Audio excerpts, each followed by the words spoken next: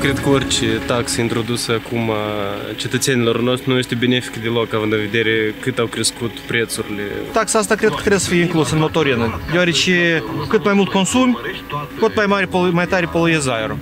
Nu e normal omul care se folosește odată în două luni mașină să plătească tot anul taxa asta. Nu, nu, nu sunt de acord. De ce?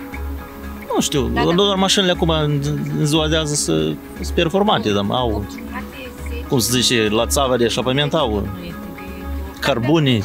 Noi și așa plătim tare mult. Dar nu credeți că poluează prea mult aerul? Credem? Credem, deși nu. Atunci pentru mașinile care poluează mai mult să fie o taxă? Poate să fie pentru particular, care lucrează la stat, e alt. Negativ. De ce? A? De ce? Fiindcă și așa sunt multe taxe. Dar nu considerați că se poluează tot aerul? Aerul? Aerul se poluează, dar din alte considerări, nu numai de la mașini.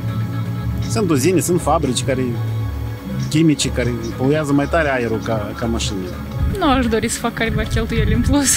N-ar fi lumea de acord. Sunt împotrivă. De ce? Pentru că toate mașinile care sunt acum, majoritatea sunt electrice. Nu, sunt contra. De ce? Las controlez mașinile când intră în țară, dacă ele au uh, catalizatorile bune și în rest lasă cetul să plătească că ei poluează aerul. Și ăștia care au uh, cazangerii personale.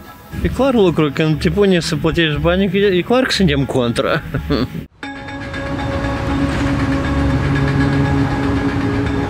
Ну, скорее всего, да, надо. 50 la 50. Cred că trebuie condiții pentru asta, ca să de a introduce taxa asta. Calitatea combustibilului, în primul rând.